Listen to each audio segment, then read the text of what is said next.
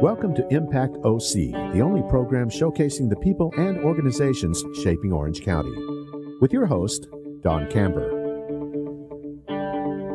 Hello, live from the OC Talk Radio studios at UCI's Beall Applied Innovation Center. I'm OC Talk Radio Public Affairs Director Dawn Kamber with another great guest positively impacting our community. Today, I welcome Make a Wish Orange County and the Inland Empire Vice President of Mission Delivery, Melissa Gallagher. The organization creates life changing wishes for children with critical illnesses. Thank you, Melissa, for being on Impact OC. Thank you, Dawn, for having me.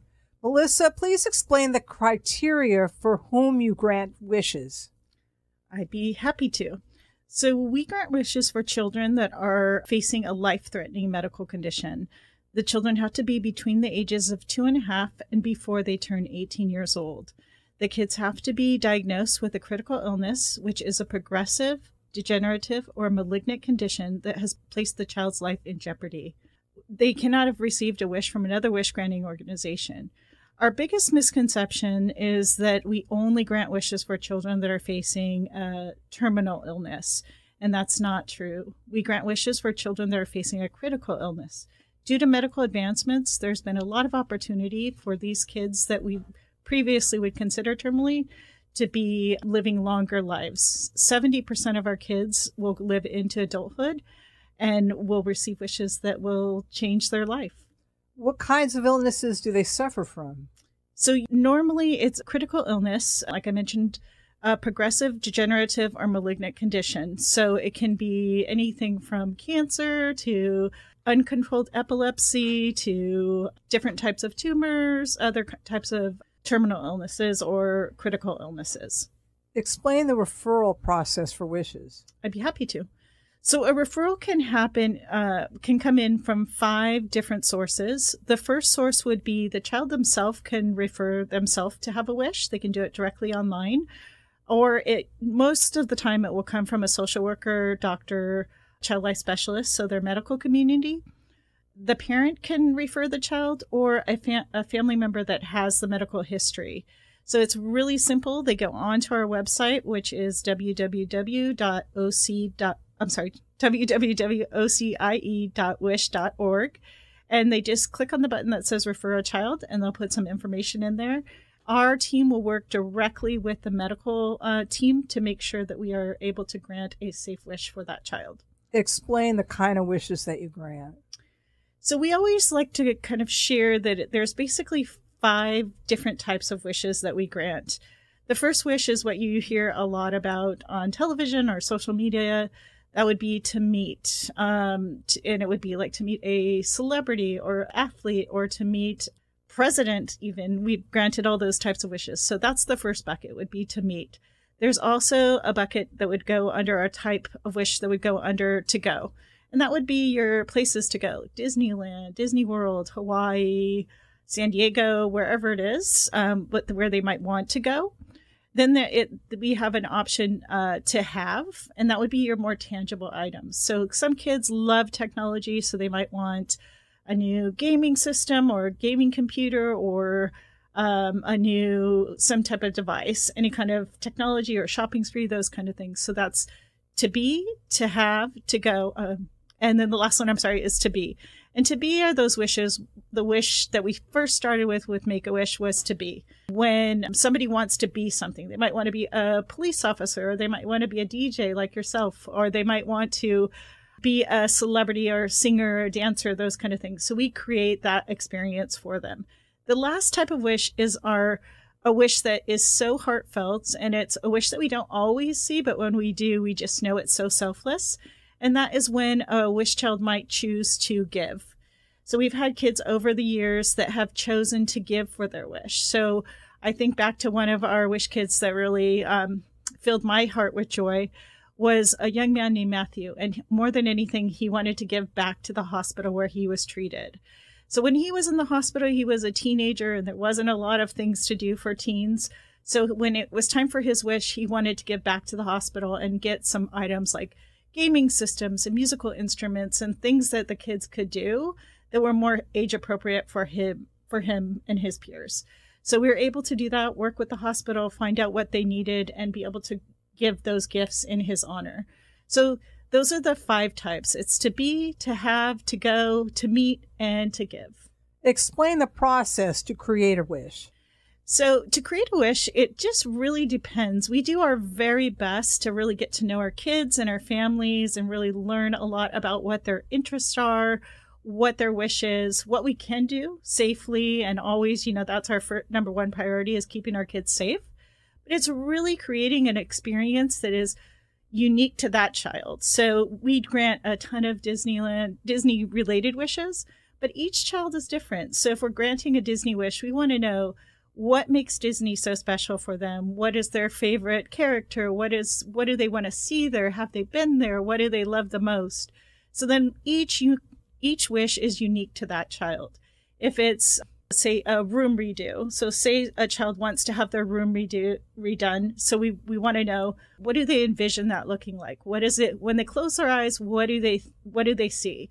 So is it the walls are painted a particular color, the furniture is different, curtains, whatever it is, to make that wish come true for them. So it's really about listening to our kids and figuring out what their interests are, what what they envision the wish look like looking like.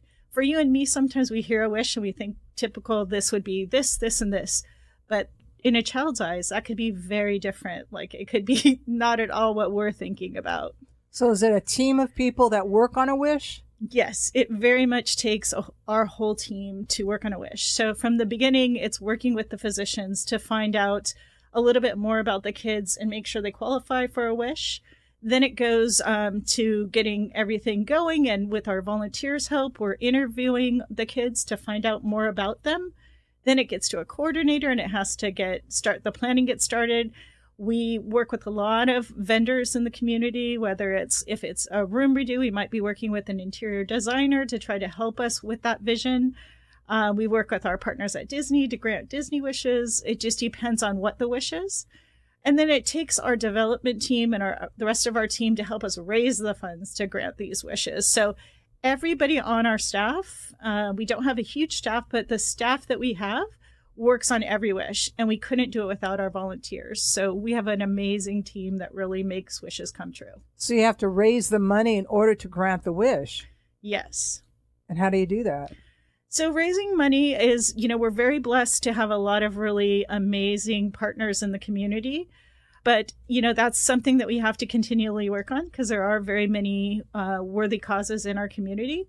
But we work on we do a lot of different events throughout the year. We work with our individual donors uh, we work with new companies. We try to get companies involved in helping us grant wishes locally to our kids. All the funds that we raise here in orange county in the inland empire stay in orange county in the inland empire. So we raise funds right here in our local territory. So we work really hard to grant uh, raise money and grant as many wishes as possible. Can you give us an example of an exorbitant wish?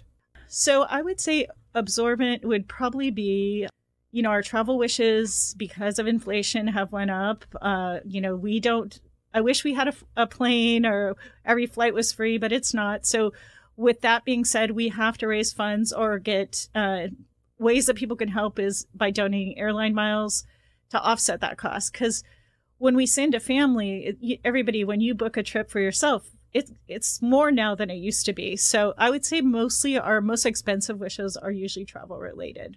So give us an example of a travel wish.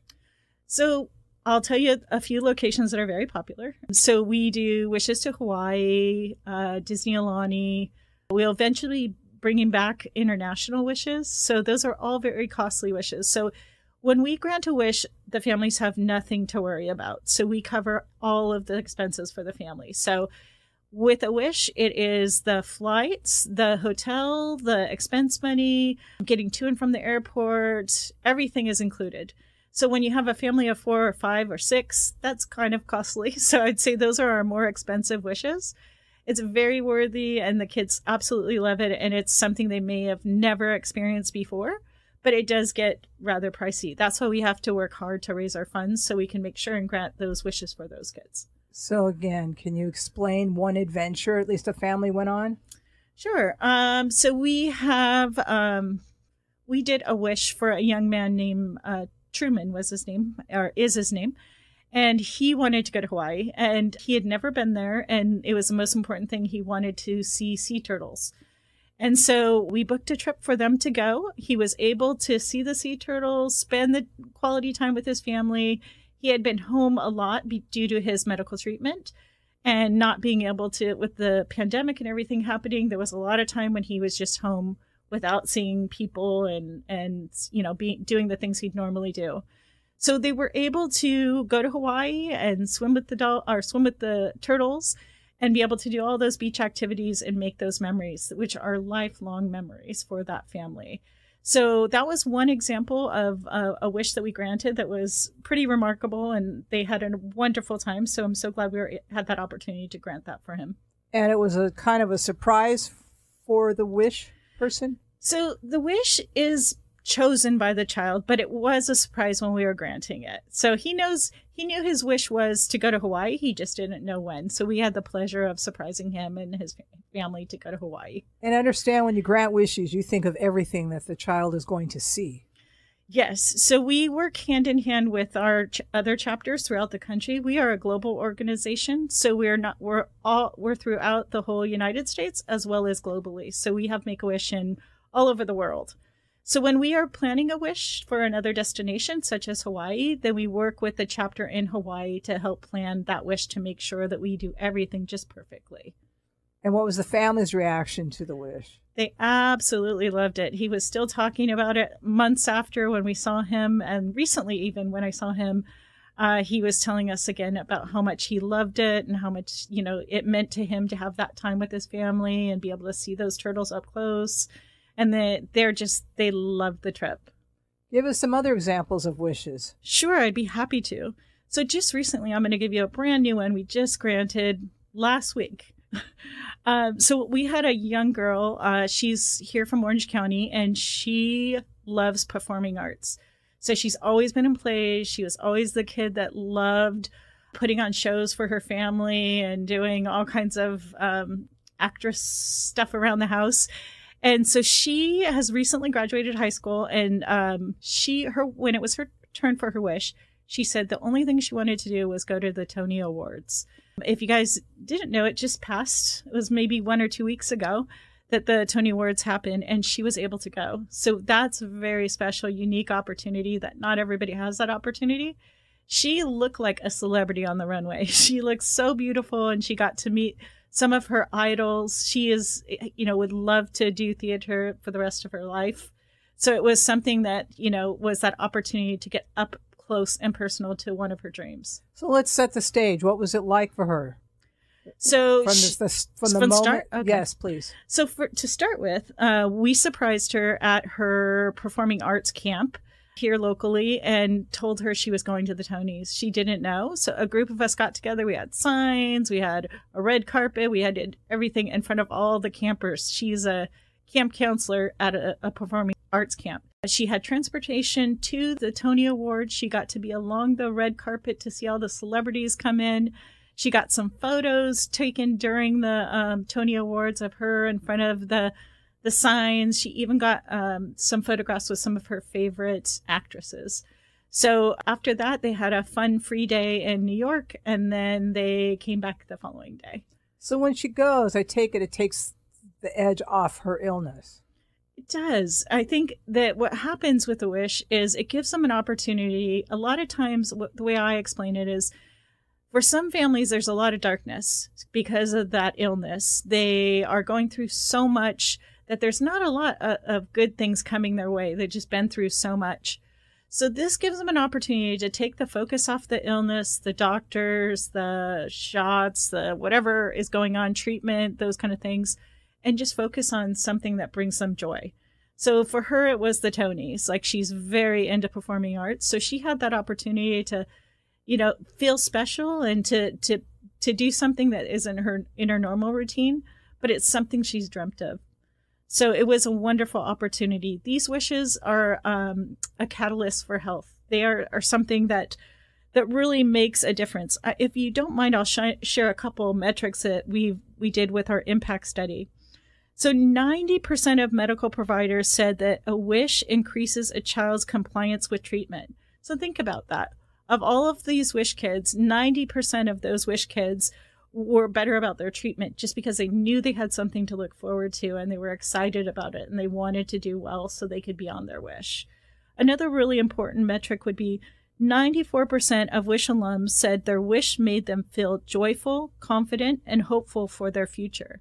So, in that situation with our Wish kid that went to the Tonys, this is an opportunity where she can think about her being one day a, a person in the audience, or maybe winning a Tony, or being part of that that experience. And last one, I'll just leave with leave it leave with you is 95% of parents said they saw their child's emotional well being improve through the wish experience. So that is an opportunity to just bring some joy to the kids that are going through so much due to their illness and their situation. And the one thing that's really important we want to make sure people know is it doesn't always just bring joy to the child, it brings joy to the family and sometimes even to the community to be part of a wish. So when we were at the performing arts camp and all those kids got to be part of it, they were so excited. They were just so excited to be part of just a small part of her celebrating being able to go. Explain the impact on the family. So the impact on the family can be multiple things. So during when you have a child that's diagnosed with a critical illness, you know think about all the things you'd go through you know there's you know all of a sudden uh, you know that your child has a critical illness there's uh, maybe financial concerns there may you know there's already medical situations. Day to day you're wondering what's going to be happening with your child um, you know what's the next treatment plan? Are they going to have good good results bad results? A lot of times it's marital stress. That kids are are not feeling like they're normal kids because they're stuck in the house when their siblings are out playing They've got to change their routines. A lot of them can't go to school because they're on, in hospice, or not, sorry, not hospice. They're in the hospital. Sometimes they're in hospice even, but um, there's a lot of strains that go on to these families that are going through so much. So we do a, our part to just bring a little joy and hope hopefully create some lifelong memories for these families. And then for staff, what does it do for staff and volunteers? So for staff, I think every time we have an opportunity to be part of a wish, I mean, we're part of it in creating it and and and doing all the behind the scenes. But every time we hear the joy that comes afterward, or we see the photos from the wishes, it's it's heartwarming. I'll tell you that it it really changes your perspective on life because we complain about this or we complain about that.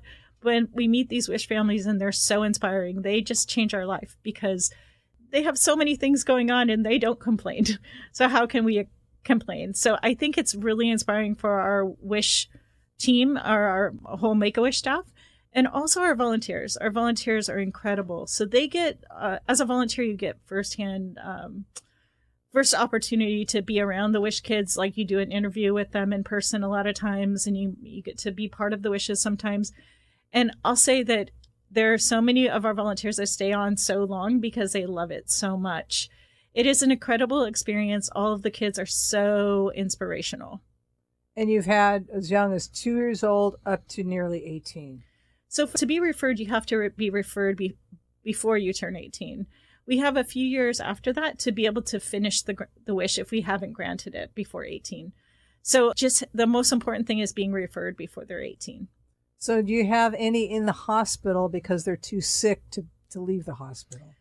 We definitely do. But what we do with those situations is we find something that will bring them joy. So, on, on those situations, if they are in a more severe medical situation and they aren't able to leave the hospital, then we try to find out what would make them the most comfortable or what would bring them joy. So, for instance, I've done a few different wishes where maybe we they might had a favorite. Uh, YouTubers are very popular right now. um, so they may have a favorite YouTuber. And so maybe we'll reach out through our national department and see if maybe that person would be available, at least for a virtual opportunity with that wish child. I've done other things where if they're really little, they might want a, their favorite princess to come visit them or, you know, just whatever will bring them joy. So it's really just trying to figure out what's going to make them the most comfortable and what's going to put a smile on their face. And what have you witnessed? Oh, I've witnessed so many. Like I could, I'm very blessed. I've been with Make a Wish for over 11 years, and I have to say that I every wish is just remarkable. from the things that you would think would be simple, just seeing the joy on someone's face. I delivered a wish on Friday, and um, the wish kid was just so grateful and just so humble and so sweet. It was a a gaming computer, and he he's currently going through treatment right now. But just the joy and the the you know just him being so polite and sweet and kind. I just was so felt so blessed to be part of such a bigger picture. How can the public at large help? So there's a few different ways that people can help. One way would be obviously wishes cost money. I wish that they didn't. That would be my wish. but um, they do cost money. So if you ever have an opportunity, the way people could help is by donating funds directly to Make a Wish, Orange County in the Inland Empire, or any or whatever chapter's closest to you. That would be the, our number one way we'd need help. Another way is we do have an incredible volunteer um, community. We're always looking for more volunteers, especially volunteers that speak an additional language, because we do have families throughout our community that speak different languages. And so we're always looking for more volunteers. It's a very easy process. Both of those options are right on our website and they can sign up. If you have specific skills, like if somebody had, um, if somebody's a photographer, videographer, or interior designer, those types of vendors, they're always so helpful to us because our team is only so knowledgeable. So it's always nice when we can get a new, fresh perspective on some of our wishes and see if they might be able to help us make them even more spectacular. Another way to help would be airline miles. So that's uh, something I mentioned earlier. So for Make a Wish, airline miles never expire. So you can donate your airline miles right on our website as well. Super easy, takes just a few minutes. Those miles will help us grant some of those travel related wishes. Um, and then always follow us on social media. We have Instagram, we have LinkedIn, we have Facebook. It will keep you up to date on any fun things that we have going on. Also shares a lot of our stories and helps get the word out there. We also have a couple different events that we have going on throughout the year. I'm just going to share just two of them, if I may. Uh, we have our Pickleball for Wishes event, which is on August 3rd from 2 p.m. to 7 p.m. at the tennis and pickleball courts in Newport Beach. That's a super fun event. If you haven't played pickleball, it's super, it's not too hard. I, I think anybody can do it. If I can do it, anybody can do it. Uh, but that is a fundraiser for Make a Wish. It's super fun and hopefully you'll be interested in it. And then my last uh, event that I'd love to share is a beautiful e- event that we have once a year, and it is our gala. So it's the Make a Wish Gala. It's a Parisian masquerade um, gala this year, which is going to be beautiful. It's going to be on October 19th at Balboa Bay Resort, which is in Newport Beach. So those two events would, you know, be beautiful uh, date night for anybody, and it is it definitely helps us grant more wishes. You said you have many vendors who help you. Mm-hmm. Do they give you discounts? Yeah, some. Um, not all of our vendors are able to do that, but we appreciate their partnership we do have some really amazing vendors in the community partners lifelong partners that have been just by our side the whole time. Disney is one of them. They're a great partner with us. Is that one of the most popular wishes is to go to a disney park? So a disney destination i'll define it as that is very popular. So disney disneyland disney world and disney Aulani. so all of those are very very um, popular. And Disney does a wonderful job on advertising, so who wouldn't want to go to Disney park? So when people hear Make a Wish, doesn't it generally put a smile on their face knowing that you're going to help somebody? So when I meet people and I say I work for Make a Wish, majority of the people will be like, "Oh my gosh, you're so lucky. That's amazing. I love that. I saw this story on ESPN or I saw this on that." And then sometimes people are like, "Oh my gosh, how do you do that?" But I just have to remind them what we're doing is so important and that it really does make a huge impact on these kids and their families. And it is a true honor to work for Make a Wish. Thank you, Make a Wish, Orange County, and the Inland Empire Vice President of Mission Delivery, Melissa Gallagher, for being on Impact OC. And I thank everyone for tuning in. I'm OC Talk Radio Public Affairs Director Dawn Kamber. Have an impactful day.